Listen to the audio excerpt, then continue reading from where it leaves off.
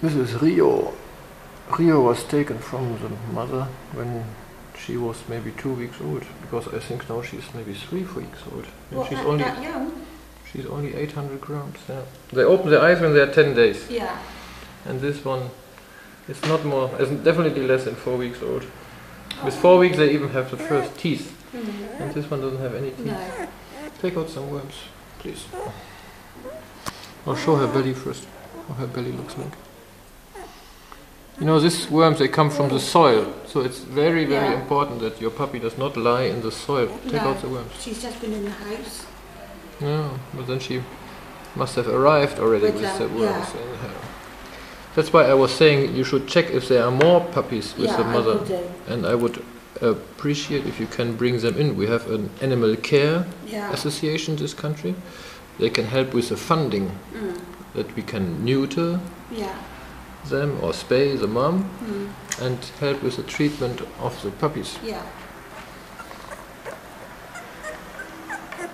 Too many worms. 800 gram Rio. And she's very hungry. Yeah. Rio. Rio, Rio. Rio, welcome back. How's it going with the milk? Is he still taking the milk? Yeah, the milk is uh, what uh, the what's left there. I think when I go, she'll, she'll,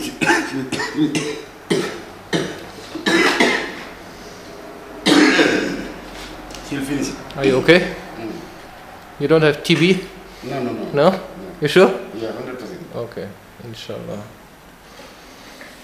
Rio, Rio, you look good. It's a different dog now, huh? Hmm? It's a different dog now. Only he has some lumps. Yes. See these lumps here? No, those things I think is a lump, but it's not lumps. I squeeze it, but No, it's an abscess. We have to open it. We have to open it. Rio, you're cute. Great, 1100 grams. It's much better than last week. mm. Now he wants to jump down.